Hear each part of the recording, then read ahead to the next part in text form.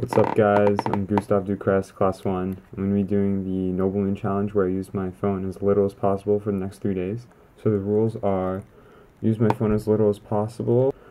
I guess I'll be just tracking how, how often I try to use it, if I use it, and uh, if I notice like any increased like sense of productivity or anything.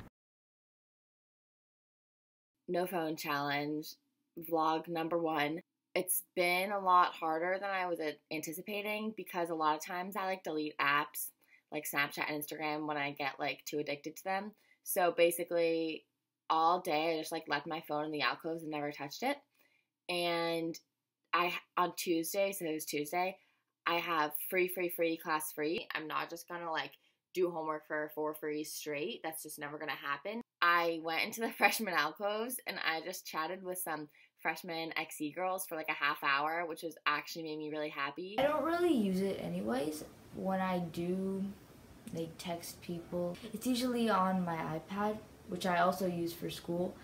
And so that can be a bit of a challenge sometimes when I'm working and then I see someone texted me and then just want to respond really badly. But uh, today when people did do that, I didn't respond. Well, I did respond, but when I did, I just told them that I was trying to be productive.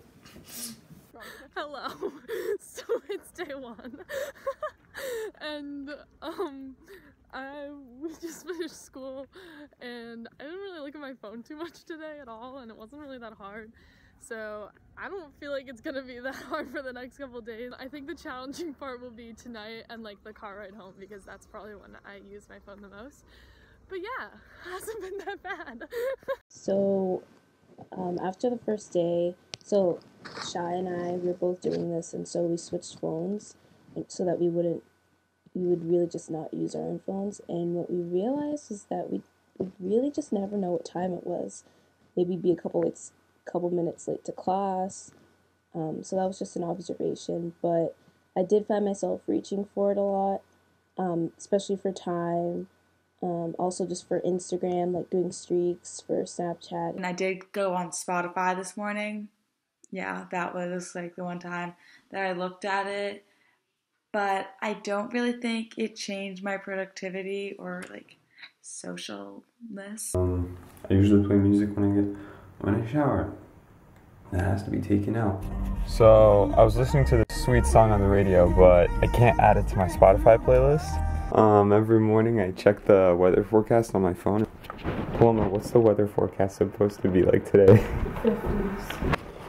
Man, this isn't going well.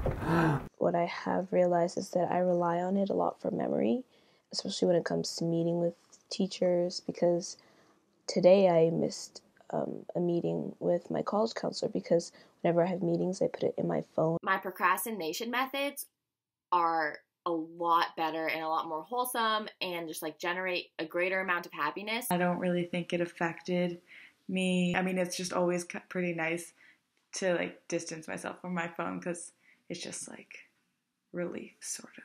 Yeah.